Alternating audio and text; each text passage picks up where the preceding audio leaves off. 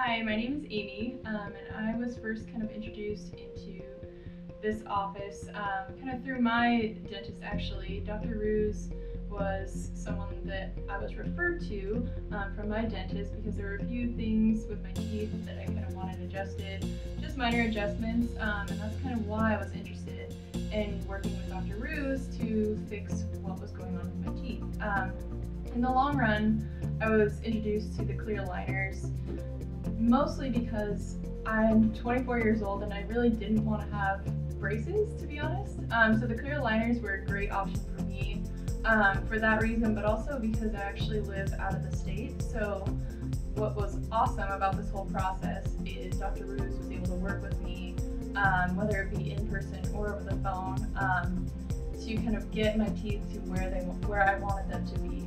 Um, the biggest thing that was amazing for me so far is the, quick turnaround.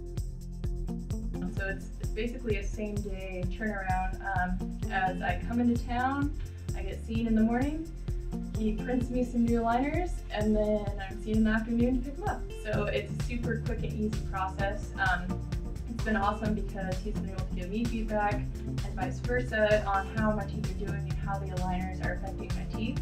Um, it has been a little bit of an adjustment for me um, just because it changes kind of the way that you go about your normal routine. Um, but it's something that you get used to pretty easily. If you're if you're used to brushing your teeth about 10 times a day, and um, basically any time when you're not drinking water, um, you pretty much have to brush your teeth and pull your aligners in and out constantly. But it's something that it kind of becomes second nature after a while.